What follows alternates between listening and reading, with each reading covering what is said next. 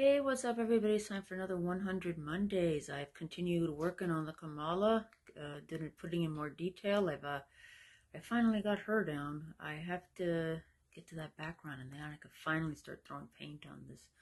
This will also be at the inter art at the intersection show for Art Mama Moves at Life Gardening Tools. Uh, it's uh, 18 by 24 canvas board right now. There's pencil and graphite on this. And uh, as soon as I get the penciling done, it'll be acrylic paint that's going to go on here. See you guys next time.